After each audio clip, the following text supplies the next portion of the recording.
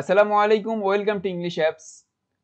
তোমরা জানো যে আগামী বিশে মার্চ থেকে তোমাদের আবার অ্যাসাইনমেন্ট শুরু হয়েছে, অ্যাসাইনমেন্ট শুরু হচ্ছে। তো সেই অ্যাসাইনমেন্টে কীভাবে তোমাদের পেপার মূল্যায়ন করা হবে সেই বিষয় নিয়ে আজকে এই ক্লাসটি করব। এছাড়াও আমাদের অ্যাসাইনমেন্ট নিয়ে যে পূর্ণাঙ্গ বিজ্ঞপ্তিটা নিয়ে আমাদের ভিডিও রয়েছে, সেই ভিডিওটার লিংক ডেসক্রিপশন বক্সে আমি দিয়ে দিব। তো অ্যাসাইনমেন্টটি কীভাবে পেপার চেক করা হবে, সেই পেপার চেকের সিস্টেমটা সম্পর্কে আজকের এই ক্লাসটাতে আমি বলব। অর্থাৎ শিক্ষকদের মূল্যায়ন নির্দেশিকাটা কি দেওয়া রয়েছে, সেটা যদি তোমরা বুঝতে পারো, তাহলে আলটিমেটলি তোমরা বুঝতে পারবে যে তোমাদের বেসিক্যালি কীভাবে অ্যাসাইনমেন্টটি তৈরি করতে হবে, কি কি লিখতে হবে, সেটা হচ্ছে তোমরা বুঝতে পারবে। তো দেখো, এখানে লেখা আছে প্রযোজ্য ক্ষেত্রে প্রতি সপ্তাহে অ্যাসাইনমেন্ট বা নির্ধারিত কাজ মাধ্যমিক ও উচ্চ মাধ্যমিক শিক্ষা অধিদপ্তর ওয়েবসাইটে প্রকাশিত হবে। অর্থাৎ সেটা ওয়েবসাইটে প্রকাশিত হবে। নির্ধারিত বিষয়সমূহের প্রস্তাবিত অ্যাসাইনমেন্ট বা নির্ধারিত কাজ জমা নেওয়া, মূল্যায়ন করা, মূল্যায়নকারীর মন্তব্য সহ শিক্ষার্থীদেরকে দেখানো এবং প্রতিষ্ঠানে সংরক্ষণের কাজটি নির্ধারিত সময় সম্পন্ন করতে হবে।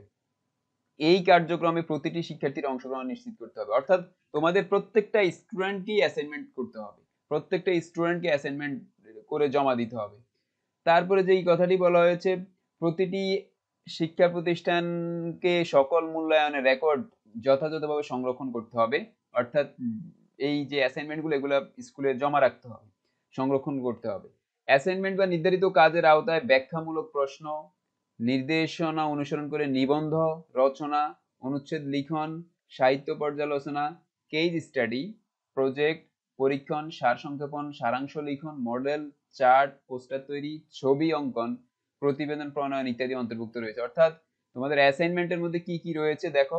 অ্যাসাইনমেন্টে ব্যাখ্যামূলক প্রশ্ন থাকতে পারে, নিবন্ধ থাকতে পারে, রচনা থাকতে পারে, অনুচ্ছেদ থাকতে পারে, সাহিত্য পর্যালোচনা থাকতে পারে কেজ স্টাডি থাকতে পারে যে কোনো একটা বিষয় নিয়ে থাকতে পারে প্রজেক্ট পরীক্ষণ করতে বলা হতে পারে সার সংক্ষেপ লিখতে বলা হতে পারে, মডেল, চার্ট, পোস্টার ইত্যাদি সম্পর্কে প্রশ্ন থাকতে পারে।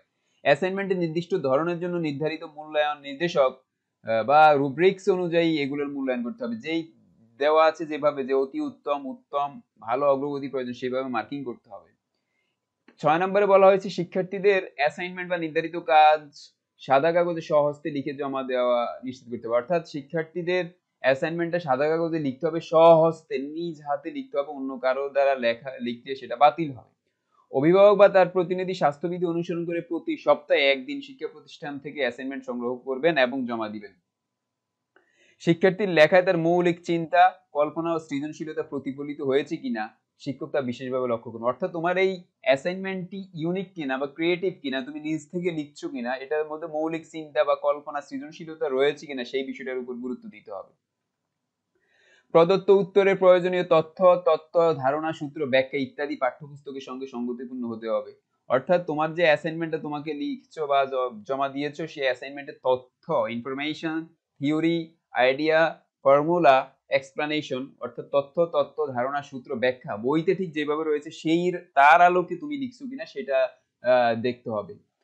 প্রত্যেক শিক্ষার্থীর প্রতিটি বিষয়ের প্রতিটি অ্যাসাইনমেন্টে বা নির্ধারিত কাজ মূল্যায়ন করে তার সবল বা দুর্বল দিকগুলো খাতা চিহ্নিত অর্থাৎ কার, তার কোন জায়গায় দুর্বলতা রয়েছে সেটা চিহ্নিত করতে হবে। তারপর সেটা লিখে আবার ব্যাক করতে হবে। মূল্যায়ন করার পর শিক্ষক তার মতামত সহ অ্যাসাইনমেন্ট বা নির্ধারিত কাজ শিক্ষার্থীদের দেখানোর ব্যবস্থা করবেন এবং একটি নির্দিষ্ট সময় শেষে সেটি ফেরত এনে প্রতিষ্ঠানে সংরক্ষণ করবেন। অর্থাৎ অ্যাসাইনমেন্টে যখন খাতাটা দেখা হবে, তারপর আবার স্টুডেন্টকে দিতে হবে স্টুডেন্টরা দেখে আবার সেটা স্কুলে জমা দিতে হবে। সর্বশেষ বারো নম্বরে বলা হয়েছে, শিক্ষক একটি অ্যাসাইনমেন্ট বা নির্ধারিত কাজের সামগ্রিক মূল্যায়নের উপর ভিত্তি করে অতি উত্তম উত্তম, ভালো এবং অগ্রগতি প্রয়োজন এই চার ক্যাটাগরিতে মন্তব্য করবেন। মন্তব্য করার ক্ষেত্রে, নির্দেশক বিবেচনার ক্ষেত্রে নিচে দেওয়া। অর্থাৎ কোন, কীভাবে লিখলে কোন ক্যাটাগরিতে মার্কিং হবে সেই বিষয়ে এখানে বলা হয়েছে। তোমরা দেখতে পাচ্ছ স্ক্রিনের মধ্যে। প্রথমত হচ্ছে অতি উত্তম। অতি উত্তম ক্যাটাগরিতে কি কি রয়েছে? দেখো, পরিপূর্ণ মাত্রায় বিষয়বস্তু সঠিক ও ধারাবাহিক। অর্থাৎ যেইভাবে বলা হয়েছে সেভাবে বিষয়বস্তুটা সঠিকভাবে আছে কিনা এবং ধারাবাহিকতা মেনটেন করছ কিনা, সেটা যদি ঠিক থাকে, তাহলে অতি উত্তম পাবে। তথ্য, তত্ত্ব, ধারণা, সূত্র ইত্যাদি পাঠ্যপুস্তকের সাথে সঙ্গতিপূর্ণ কিনা। তুমি যেইভাবে লিখছো সেটার তথ্য, তত্ত্ব, ধারণা, সূত্রটা, পাঠ্যপুস্তকের আলোকে রয়েছে কিনা, সেটার সাথে মিল রয়েছে কিনা সেটা তোমাকে দেখতে হবে। সেটা যদি ঠিক থাকে তাহলে অতি উত্তম। লেখায় লক্ষণীয় মাত্রায় নিজস্বতা ও সৃজনশীলতা, অর্থাৎ তোমার যে লেখাটা লিখছো সেখানে তোমার ক্রিয়েটিভিটি বা নিজস্বতা রয়েছে কিনা যদি থাকে তাহলে তুমি অতি উত্তম। এই তিনটা বিষয় যদি থাকে তাহলে তুমি অতি উত্তম বা বেস্ট ক্যাটাগরিতে মার্কিং পাবে। এবার আসো উত্তম ক্যাটাগরিতে কারা উত্তম হবে? উত্তম ক্যাটাগরিতে হবে অধিকাংশ ক্ষেত্রেই বিষয়বস্তু বা ধারণা সঠিক, অর্থাৎ পুরোটা সঠিক না, অধিকাংশ ম্যাক্সিমাম ক্ষেত্রেই হচ্ছে এই ধারণাটা হচ্ছে সঠিক। ধারা সঠিক এবং ধারাবাহিকভাবে রয়েছে। তথ্য, তত্ত্ব, ধারণা, সূত্র ইত্যাদি পাঠ্যপুস্তকের সাথে আংশিক অধিকাংশ ক্ষেত্রে সংযুক্তিপূর্ণ, অর্থাৎ ম্যাক্সিমাম ক্ষেত্রে হচ্ছে বেশিরভাগ ক্ষেত্রে এইটি পার্সেন্ট বা সেভেন্টি পার্সেন্ট হচ্ছে মিল রয়েছে, এরকম হলো উত্তম। লেখায় আংশিক সৃজনশীলতা নিজস্বতা, অর্থাৎ সেভেন্টি পার্সেন্ট বা এইটি পার্সেন্ট হচ্ছে নিজস্বতা বা সৃজনশীলতা রয়েছে, তখন সে উত্তম ক্যাটাগরিতে মার্কস পাবে।